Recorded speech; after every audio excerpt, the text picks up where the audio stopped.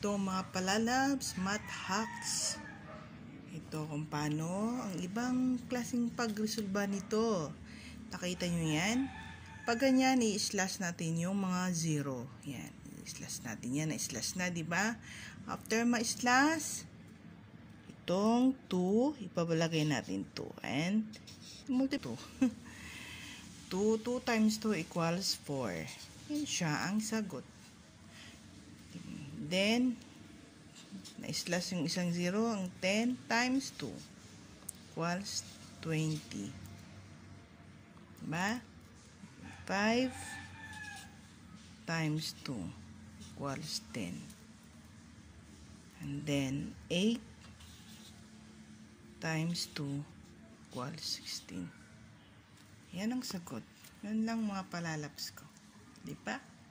Thank you. God bless sa ating lahat.